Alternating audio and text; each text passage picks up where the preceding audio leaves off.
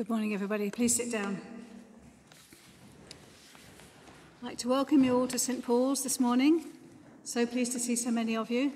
Um, and thank you for following the COVID uh, guidance around coming in through the main entrance, one-way system going out that way, and refreshments will be in the car park uh, outside the large hall after the service. I have quite a few notices this morning. Um, the first one, um, primarily we, we are thinking about what to do uh, from the 19th of July when the government has announced that the COVID restrictions will be eased. Uh, as a church, the elders um, and the members will need to decide how we approach that.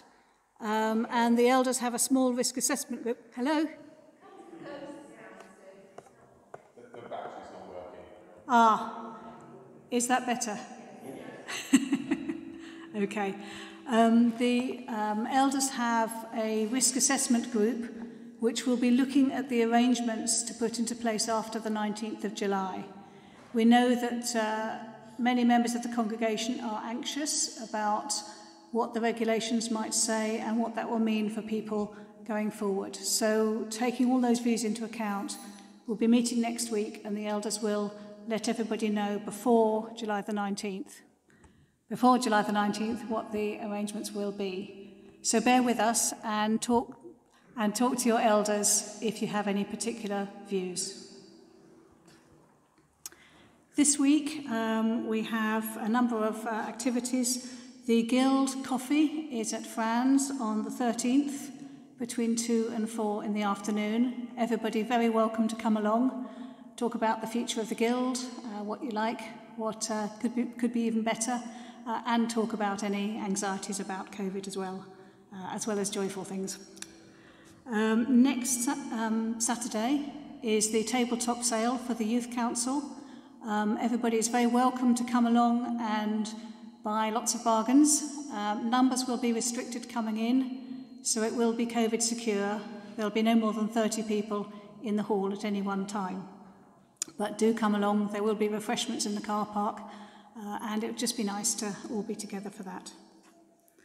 Next Sunday, uh, it's church meeting, um, so that'll be within the service, um, and there'll be a presentation about the Child and Youth Friendly Scheme from the URC, so do please come for that. Next Sunday is also the deadline for the Pauline copy date. Okay. Um, After um, the service, Martin will have to rush off to South Croydon United, who are having their church meeting. So um, please let him go. um, and uh, delighted to welcome Robert, who's playing the organ for us, uh, and our minister leading worship.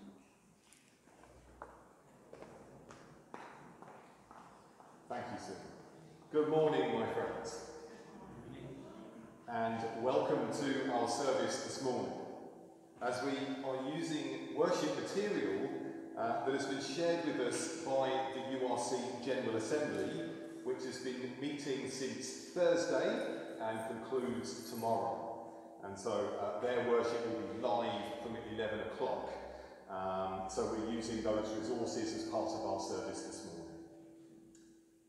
However, we come to these times of worship, be it in person uh, or via YouTube, we worship together, albeit in different times and different places. Let us pause to be aware of God's presence with us.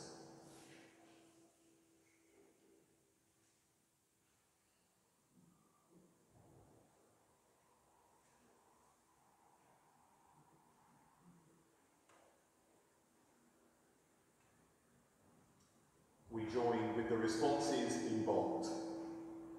This is the day that the Lord has made. We will rejoice and be glad. It is good to give thanks to the Lord.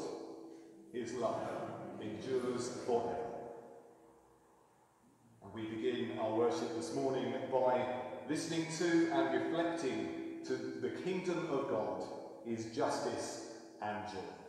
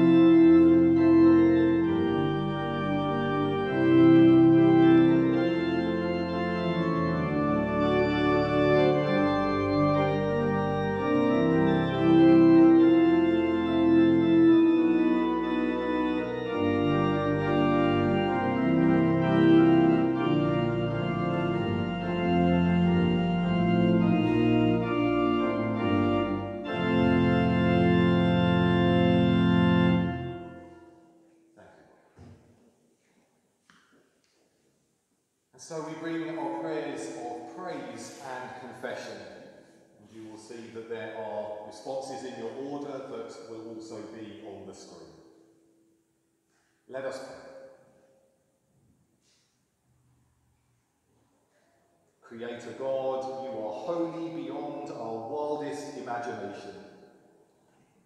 You called everything into being and saw that it was good.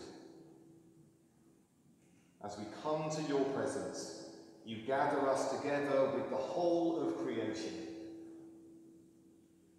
Creator God, we worship you. Creator God, we worship you. Lord Jesus Christ, just as we are, you invite each one of us to your kingdom. You greet us each by name and welcome us into your family. Lord Jesus Christ, we worship you. Lord Jesus Christ, we worship you. Holy Spirit, breath of life, you fill us with your love for all, so that we are enabled to witness with and to your word. Holy Spirit, we worship you. Holy Spirit, we worship you. Loving God, as we draw near to you, we are painfully aware of our faults and failings. We confess that we have been greatly influenced by other voices than yours. We have been seduced by the superficial glamour of the culture of the world. We have not spoken out against injustice and inequality in our society. We have filled our own plates while the plates of others are empty. We have been indifferent to the damage our way of life has caused to your creation. Forgive us, Lord God. Help us to listen only to your voice, to do justice, love kindness, and to walk humbly in your way. Amen. Christ Jesus came into the world to save sinners. To all who turn to him, he says, Your sins are forgiven. He also says, Follow me. And so, as we follow, let us say together the prayer that sustained Jesus and his disciples. Our Father, who art in heaven, hallowed be thy name. Thy kingdom come, thy will be done, on earth as it is in heaven. Give us this day our daily bread, and forgive us our trespasses, as we forgive those who trespass against us. And lead us not into temptation, but deliver us from evil. For thine is the kingdom, the power and the glory, for ever and ever.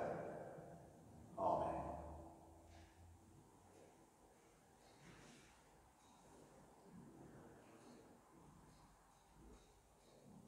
Now we're going to listen to and watch a relatively new song, which, as I say, is being shared by General Assembly this morning and is brought to us by uh, URC Youth. It's called Noah Built the Most Enormous Boat, uh, and I warn you, it's a bit of an earworm. So if you find yourself humming it during the week, it's all my fault.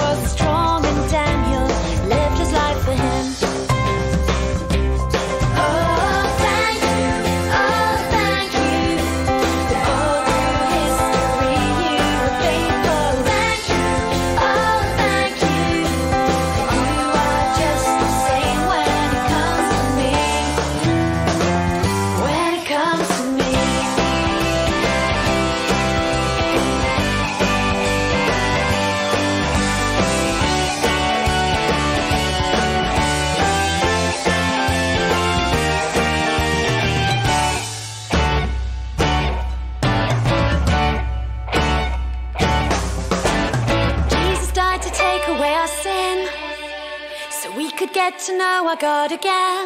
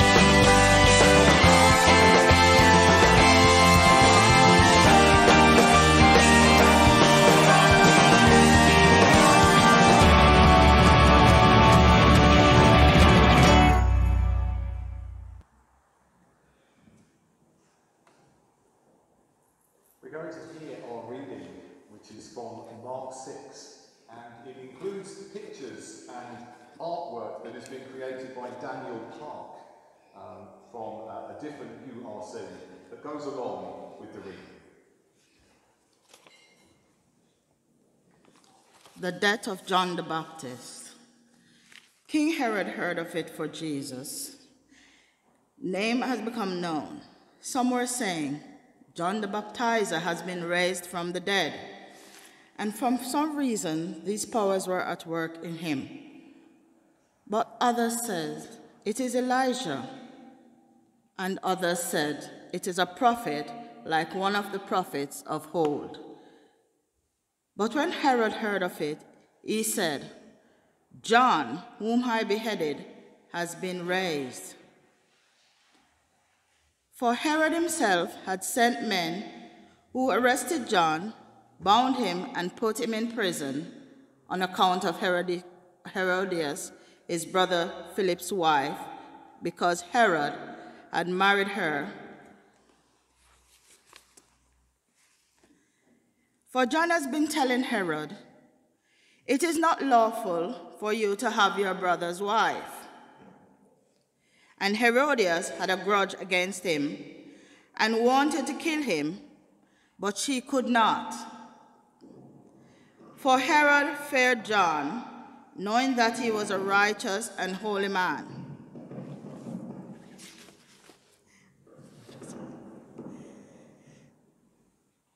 And he protected him. When he heard him, he was greatly perplexed, and yet he liked to listen to him. But an opportunity came when Herod on his birthday gave a banquet for his courtiers and officers and for the leaders of Galilee. And when his daughter Herodias came in and danced, she pleased Herod and his guest, and the king said to the girl, Ask me for whatever you wish, and I will give it. And he solemnly swore to her, Whatever you ask me, I will give you, even half of my kingdom. She went out and said to her mother, What should I ask for? She replied, The head of John the Baptizer. Immediately, she rushed back to the king and requested, I want you to give me at once the head of John the, Bapti- the Baptist on a plate. The king was deeply grieved, and yet, out of regard for his oaths and for his guest, he did not want to refuse her. Immediately, the king sent a soldier of the guard with orders to bring John's head. He went and beheaded him in prison brought his head on a platter, and gave it to the girl. Then the girl gave it to her mother. When the disciples heard about it, they came and took his body and laid it in a tomb. Thanks be to God.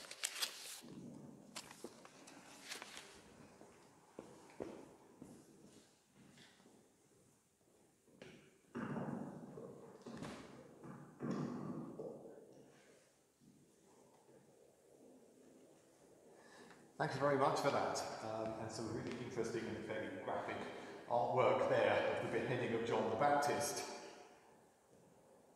So many Bible stories of these characters play with that age old question who is the villain and who is the hero? Uh, if you're into Marvel films or DC comics or all of these, you've got a whole plethora to choose from. This is another great piece of artwork based on this story. Beautiful stained glass, beautiful. The stained glass is beautiful, even if the image is quite hard. Um, what, what can you see? Who, who is the villain in this picture? Ooh, nothing. What can you see happen? Man with a sword. Here's the sword. So the soldier. And who's the hero? And what gives it away? Who might this be? John, absolutely. And what gives away that he's somehow heroic? He's wearing a plate. He's wearing a plate. Yes. he's got the halo. So the image is setting it up for us. In that song that we heard just a moment ago, there are lots of other examples that we heard.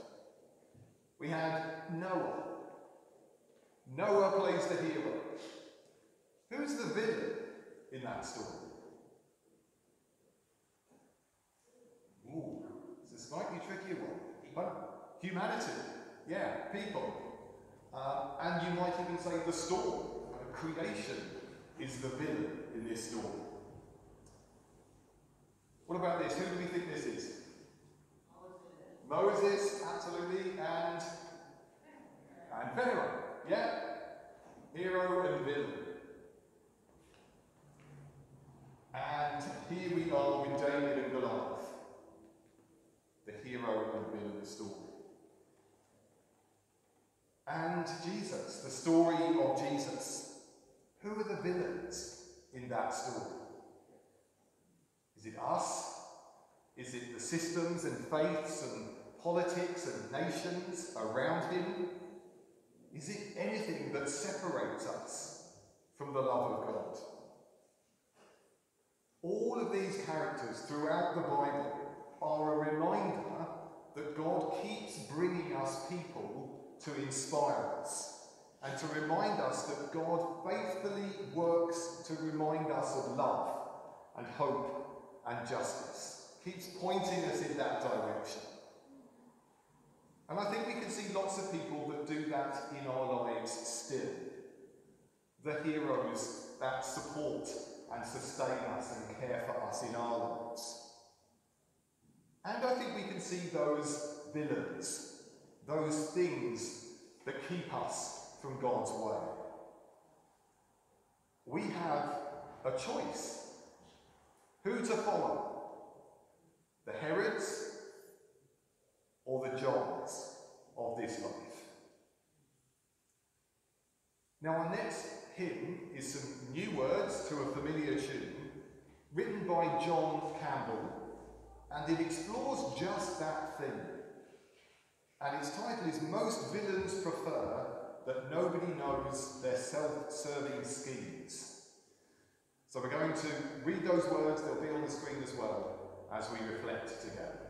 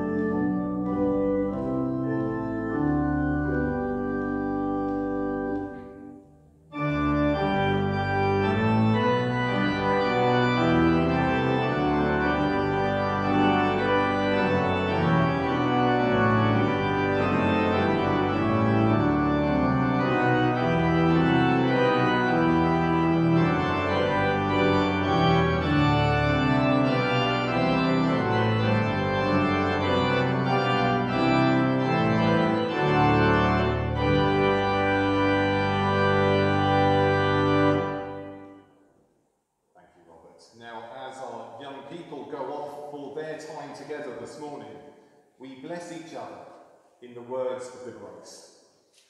The grace of our Lord Jesus Christ, and the love of God, and the fellowship of the Holy Spirit be with us all, evermore. Amen.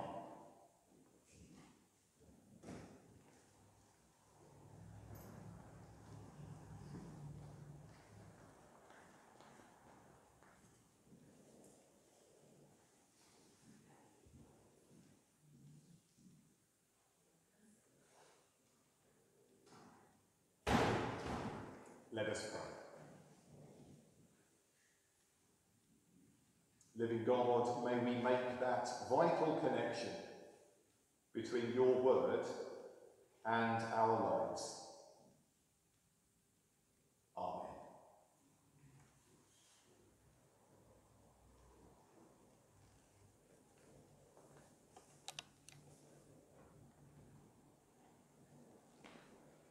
So, as we've seen, the orders and prayers that we're using this morning have been prepared for the worship of the General Assembly of the United Reformed Church, which is, is taking place this morning.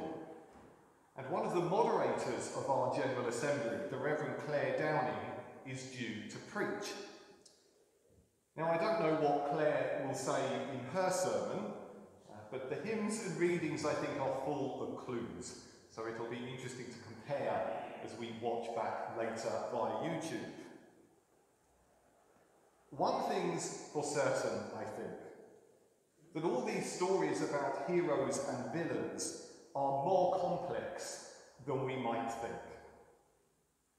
As soon as we start to ask who are the heroes and who are the villains, there is a more nuanced picture at play. At first glance, it seems that King Herod didn't want to kill John, so had him imprisoned. But he found himself trapped by his own oath to his daughter, named Herodias after her mother. Is he a villain? Or is his wife the villain? Or his daughter? Or actually, is it unhelpful to simply blame the characters when the overarching principle is that the messenger of God, who taught us that Jesus was coming, John the Baptist, was ultimately killed? Now, the Bible is full of these wonderful stories and amazing characters. And you know, it may not be about them, but a larger story of good overcoming evil. Perhaps the message of these stories is that all too often we humans prefer the darkness rather than the light. The dark of so much of human life, the systems and powers that we live in, hide us, hide the light. We follow those rather than the light that God offers. And this, where the second element comes in this morning. This character, John, is a reminder that God is faithful and constantly seeking to show us God's way of light. But also throughout Scripture by a host of people. God is faithful to us. And my goodness, do we need to hear those words? And we get that message not by superheroes, not by perfect people, but fully human, complex characters. And it's the same with the villains of the stories. They are fully human and complex too. They are reminders of those things that draw us away from God's path. Look at Moses, not by any stretch perfect, a murderer. Noah used wine to excess. David slept with married women. Paul killed Christians. They're not superheroes, but they guide us to God's path nonetheless when they trust that God is faithful in their lives. And it's also too easy to say that the villains are evil. Pharaoh was born into a system of slavery that he certainly perpetuated but didn't create. Paul was doing what his faith taught him by killing those who challenged the faith that he grew up in. As soon as you start to look at these characters, it's more complex. And yet, there is a simplicity to it, because slavery and murder are clearly wrong. Take a look at some of these stories at home and ask yourself who is the hero? What are we told that is heroic about their lives? Who are the villains? What is behind their actions? What makes them act in that way? Very often, the true villain are the structures and powers that lie beneath the story. Take a look. Now, John Campbell's new hymn that we reflected to gets us thinking about which path we will choose. The path that God shows us of love and justice and mercy and community, or the opposite hatred, injustice, cruelty, individualism, endless profit, destruction of the natural environment. He says this So, what will we be? Which way will we take? Will villainous ways keep us on the make? Or will we be heroes and work for what's right, who live to bring justice for all in life's fight? We are presented with a choice of direction in our lives. And I think that the hymns and reading that we've had chosen for us this morning by General Assembly, they're there to remind us and the United Reformed Church that we all have a choice. Which way will we follow as a denomination and as a local church? Will we be faithful to God as God is faithful to us? Now, a significant part of General Assembly this year is about the formation of a small group to look at the future of the denomination. We're approaching 50 years old. To look at its structures, its direction, its resources of money and people, of faith, of the number of our churches, to look at where God is calling us. And we here at St Paul's know something of that journey. We are on a similar path. We know what it's like to ask these questions. For about 30 years now, the URC has been aware of rapid decline in membership. We are not the same church we were, and we're not alone because all mainstream denominations are facing the same challenges. And we, this church here, have been on the same path.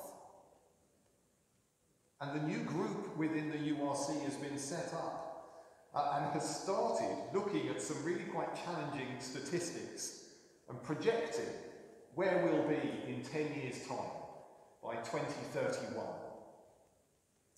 And uh, predominantly, the direction of travel on the chart has been a downward arrow in terms of membership, number of churches, number of elders, number of ministers.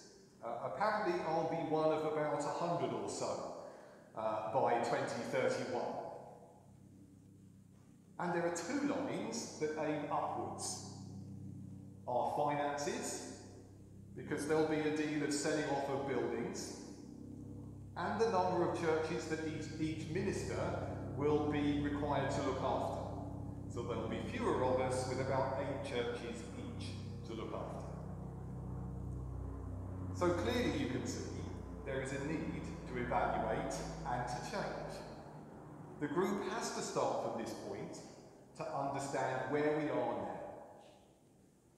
And we've had to do that in this church over the last few years. We've had to understand that we're not who we were. We no longer have 400 members. But accepting that, grieving that change, means we can accept where we are and start to see where God is leading us to now. Rather than looking back, we are looking forwards. And there are signs of God's faithfulness to us in that process. New people wanting to be part of our church family. A renewed vision. Less time fearing the unknown. More prayer. Now, there's always more to do, but we are listening more to the way God is leading us. And there are heroes among us, showing us the way forward. None of us perfect, certainly not your minister. But as each of us chooses to follow God's way, we lead each other. We guide each other in the way that God is leading us. And I think we are taking a look, an honest look, at what is villainous, if you like, in our story. What holds us back? What makes us fearful? What stops us from following God's way? Through this process, not easy, exciting at times, we can learn to trust that God is faithful. That there will be change, there has to be, there has been.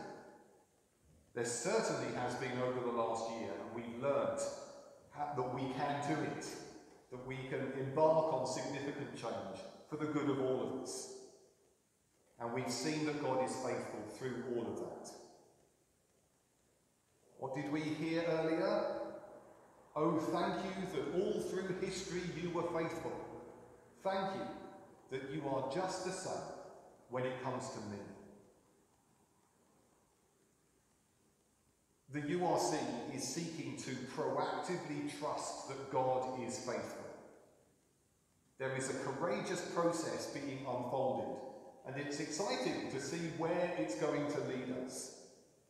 Scary, because there will be change and development, but I'm incredibly hopeful. If we trust in God and follow God's way, listen to the heroes among us, fight the villainous powers that crush God's people, then we will be on that path of light. God is faithful. Let us put our faith in God and the way of Jesus Christ. Amen.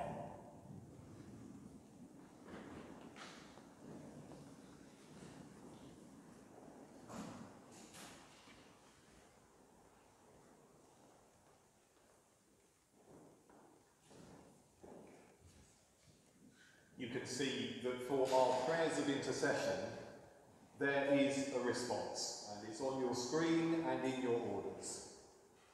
Within the darkness that life can bring, let your light shine. Let us pray.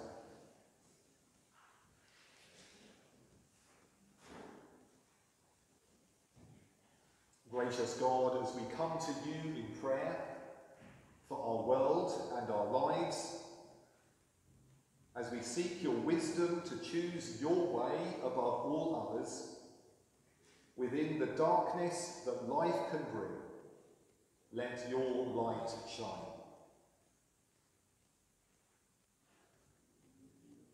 God of all creation, you hold the earth in your hands. You are closer to us than the air we breathe. You fill our souls with your wonderful love and light.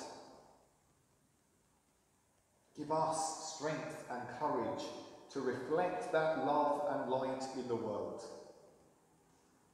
Let us never shrink back from who we are in you or hide our light inside ourselves. Hear us today as we pray for a world too often darkened by hatred, evil, power, and greed. Within the darkness that life can bring, let your light shine.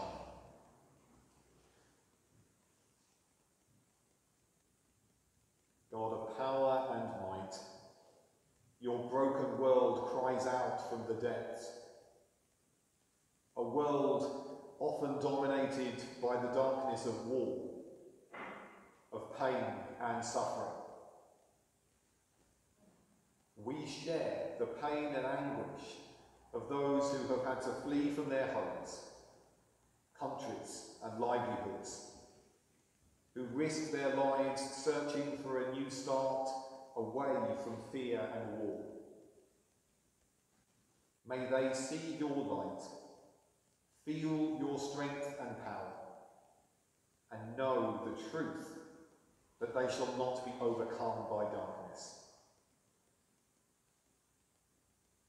Within the darkness that life can bring, let your light shine.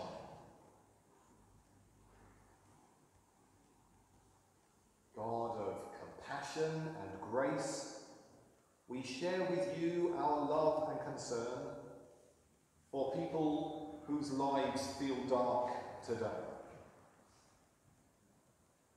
We have on our hearts our friends and loved ones, and in the silence, we bring them to God's arms.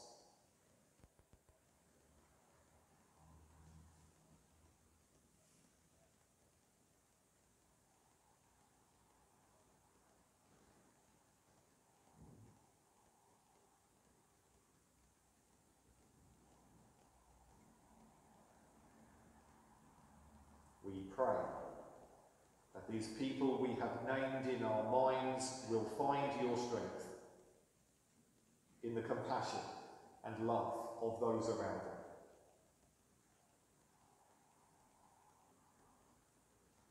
We pray today for tolerance in our society. We pray for all suffering hate and the crushing weight of poverty.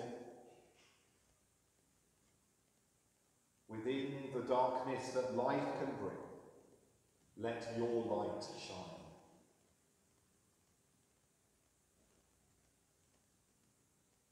God of life, we ask for your healing power as we pray for ourselves. We think of the physical and emotional pain we hide. We rest ourselves in the knowledge of your unlimited love.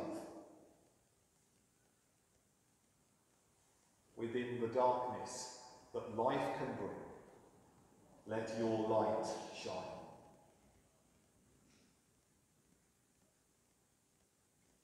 God of hope, make us instruments of your love and praise. May our words and actions and lives be living examples of your life-giving love. Within the darkness that life can bring, let your love shine. Amen.